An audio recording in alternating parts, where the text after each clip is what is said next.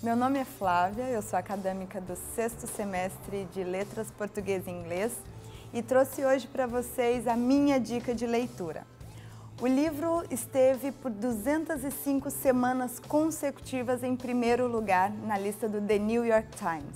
É uma leitura americana e o autor é Mitch Albom. O nome do livro é Tuesdays with Maureen. O livro conta a história de um velho professor de filosofia e seu reencontro com um antigo aluno. Agora já na vida adulta, já passado muitos anos, ele revê o professor num programa de TV falando sobre as coisas da vida. Então ele procura novamente o professor para marcarem encontros. Eles decidem então se encontrar toda terça-feira.